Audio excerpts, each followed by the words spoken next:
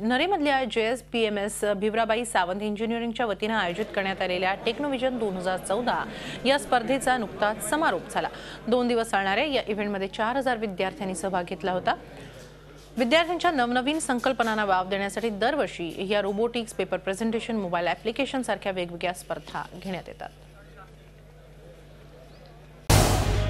Zee चोवीस तास रहा एक पाऊल पुढे.